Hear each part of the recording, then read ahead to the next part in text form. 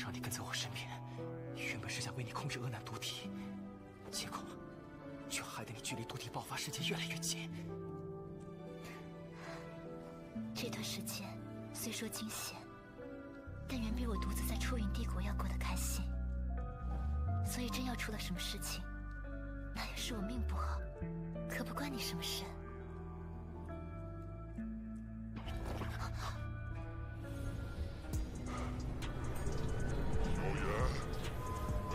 我还活着吗？